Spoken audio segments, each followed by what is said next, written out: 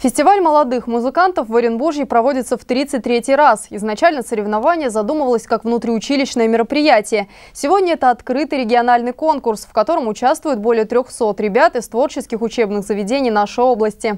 Рассказывает Сергей Вайдаковский. Мы находимся в святая святых Оренбургского института искусств в концертном зале. Здесь открываются таланты, здесь зажигаются звезды – и сейчас на этой сцене начнется самое настоящее творческое соревнование. Любой музыкант перед выходом на сцену испытывает огромное волнение. Правда, никто не демонстрирует своих эмоций, поэтому и атмосфера спокойствия только кажущаяся. Хотя у всех по-разному. Чем чаще ты на сцене, тем более проще ты к ней относишься, будто идешь просто к себе домой. Без мандража какого-то, без хандры, а наоборот, так воодушевленно, именно с радостью ходил. Вот.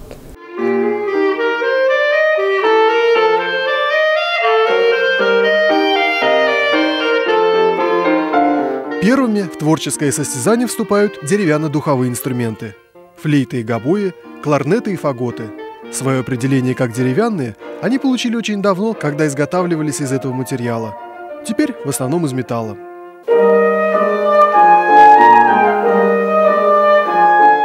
Конкурсная программа сложна и по объему, и по техническим требованиям. Юные музыканты должны сыграть концерт и виртуозную пьесу.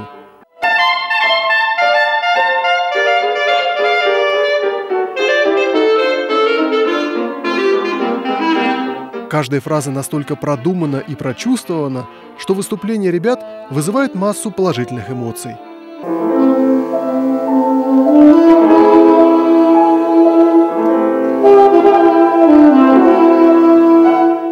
Медные духовые инструменты – это особая группа. Ведь играть на них могут только люди физически крепкие, да и занятия ограничиваются двумя-тремя часами в день. Попробуй успей довести технику до совершенства.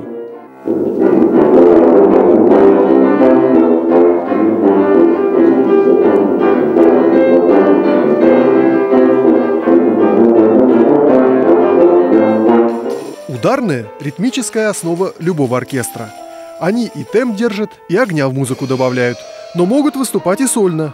Маримба и вибрафон – инструменты заморские, но на российских конкурсах уже имеют постоянную прописку. Внешне они очень похожи, вот только звук имеет разный. Необычный у вибрафона –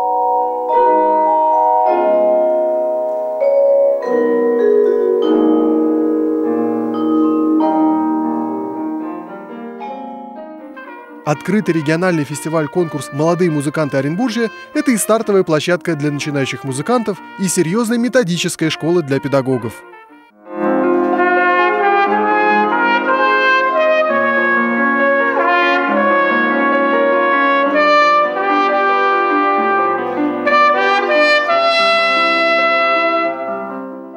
возможность определиться преподавателем, скажем так, в системе музыкальных координат где мы сейчас находимся, что мы сейчас играем, на каких инструментах сейчас играем, вот, и кто, какой уровень сейчас э, исполнительский.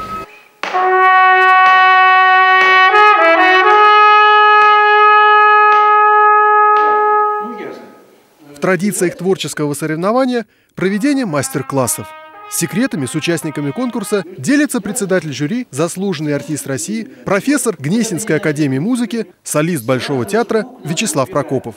Что значит играть своим звуком? Каждый трубач должен знать, насколько я громко умею играть. То есть, насколько природа мне позволяет это делать. Вот давайте сейчас выясним в сторону форта, какое у нас форте, и что такое форте вот для тебя. Кстати, Вячеслав Михайлович – выпускник нашего Оренбургского музыкального училища и всегда с благодарностью вспоминает годы учебы в этих стенах. Тем, кем я стал, это все благодаря тому, что я обучался в нашем Оренбургском музыкальном училище. Потому что, когда я приехал после четвертого курса поступать в Гнесинский э, институт, то я поступил сразу в Большой театр.